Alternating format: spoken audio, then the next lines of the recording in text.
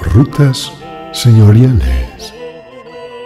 Hoy visitamos Rebuznacabras del Botijo.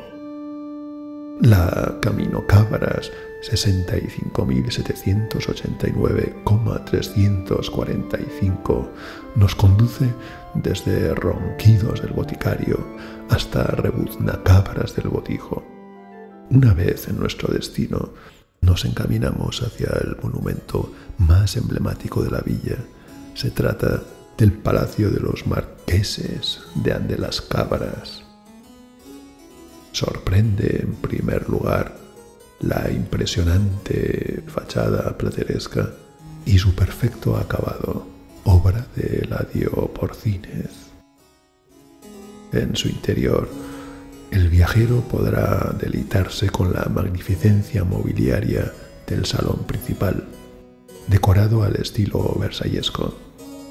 Dentro del palacio se encuentra también el Museo de las Carrozas, entre las cuales destaca la obsequiada por el rey Felipe V al marqués don Arnulfo de Ande las Cabras.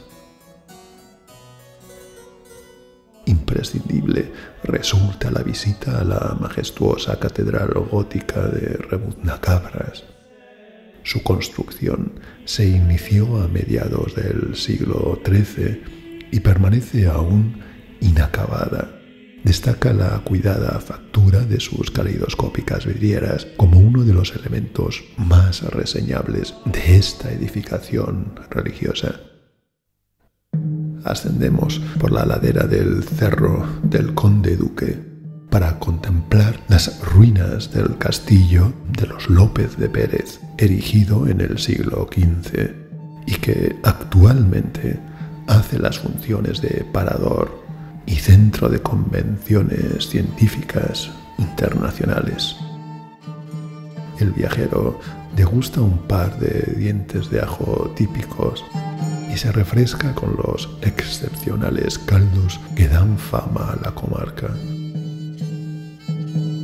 Tras despedirse de los lugareños, abandona Rebuznacabras del Botijo con la satisfacción de haber aumentado el caudal de sus eh, conocimientos y con ánimos renovados para conocer un nuevo enclave de rutas señorial.